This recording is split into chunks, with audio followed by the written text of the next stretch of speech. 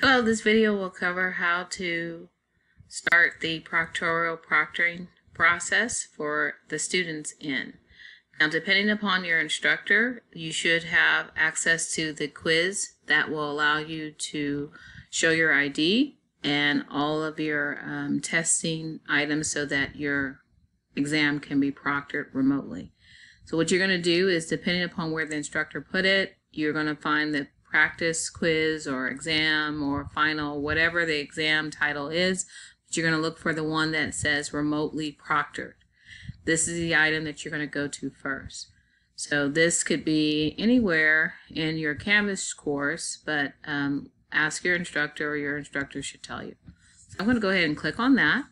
And again, it says remotely proctored. It has the date, number of points, and so forth. This is usually a minimal amount of points. And you'll notice here that um, it has the instructions. It's imperative that you read all of the instructions and follow them. And the disclaimer, um, you are to be doing the work yourself, not to be receiving any outside help. Any violation of these policies, you will be um, it will be addressed in accordance with college policy.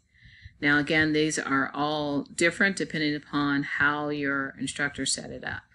But it says here, find question one and click on the practice quiz link and you're ready to begin the exam. So I'm going to go ahead and click on take the quiz.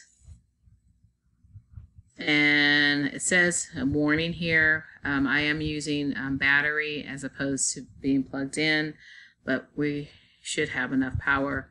But you want to make sure that you are plugged in or have 75% or more power. And this is the instructions before you begin. During the exam, there's certain things that won't be working. You want to make sure you have a reliable internet connection.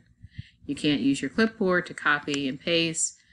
Your um, browser cache will be cleared. Um, keep in mind that if you have any extra screens or multiple screens, you only are allowed to use one screen during this examination proctoring. And then you're going to right click. You won't be able to use that right click option, option and nor will you be able to print.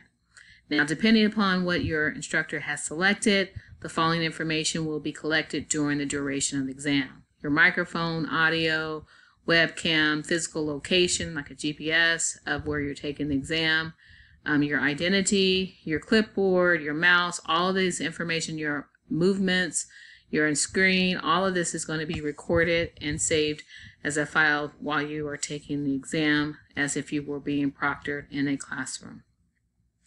And keep in mind that if you violate any of the college policies, um, you will be um, addressed in accordance with our policies at our college. And if you require any accommodations, make sure you contact your instructor before you begin this exam. Here goes information regarding accessibility and so forth. So if you have any requirements and so forth, make sure that those are addressed with your instructor before beginning. Now I'm ready to go ahead and start the exam. So I'm going to do the pre-checks. Now what happens is it maximizes my window. So you're going to see the system checking your, your system to make sure you're in compliance with all the requirements set up by your instructor. And now it's asking for permission to share my screen. So I'm going to go ahead and click on this link and not link, but this image saying basically this is what I'm allowing the Proctorio to pick up. And I'm going to click on share and that's giving Proctorio permission through Canvas to access. So now here I am. You want to make sure that you get in center and you're comfortable. This is going to record you while you take your exam. So if you don't see yourself, this is when you what adjust it and you can move your screen up and down depending upon whatever it is you're trying to do. And then you'll see right here we have go to the bathroom, go to the, take your water, get all that stuff ready before you begin. What's going to pop up is now it'll show Proctorio sharing your screen, stop sharing, hide. Do not select stop sharing. You want to make sure that this is monitored the whole time you take the exam. And um, it might be in the way of something. It might be covering up something. All you have to do is move it out the way. You can just drag it. Or if you want, you can do hide, but just don't do stop sharing because then it'll stop the proctoring process and your exam will not be graded. So you'll see off to the right hand side, it has a space that says next. So when you're ready and you're centered and you're ready, you got your all your ID, your your notes, and your calculator, all your stuff to get started. You're going to click on next. And this is the tricky part for me is showing my ID. I got to put it up in this window. So it's all it's like a mirror. So okay. And once it does that, you'll see on the screen, I'm going to move this out the way because it's okay. So you'll see right here, it has my name and my photo. This is what is going to be shown to your instructor. And if you need to retake it, it's blurry, it's not showing your picture. You want to go um, retake, but I'm fine with it. I'm going to go next. And now what's going to happen is to verify your webcam is working correctly, please make sure your face is well lit. So you want to make sure there's a lot of light in your area. It's not too dark so that the cam can pick up in your face. And then you can do your, begin your camera test. Smile.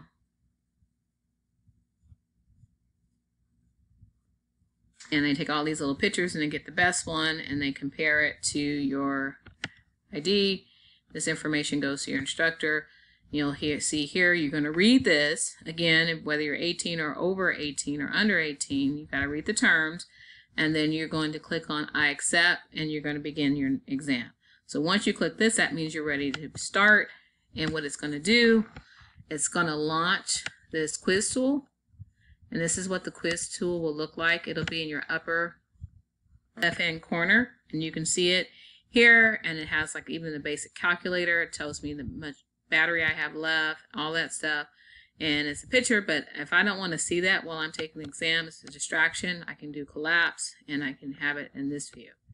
So now I say, it says practice quiz, um, remotely pro proctor is ready for me to take the quiz in Canvas. Now when I do that, I'm going to move this thing out the way because I can't, it's in the way.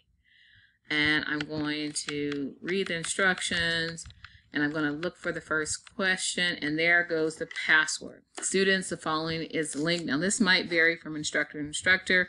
I'm going to go ahead and write this down. Make sure it's case sensitive, so I'm going to write it down exactly how it's appearing. And then I'm going to um, follow and it says click on the practice quiz link. So I'm going to click on this link and that's going to take me outside of Canvas to the third party software in Connect where I will input this password. So that's why I needed to write it down.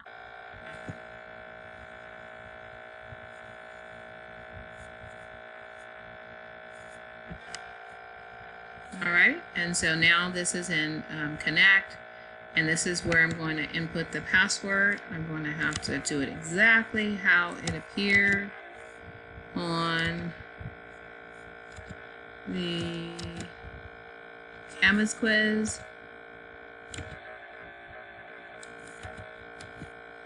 And once I input it in, this is when the timer will begin. Now do not submit the quiz in Canvas because you want it to continue to record. So now it's launching Connect.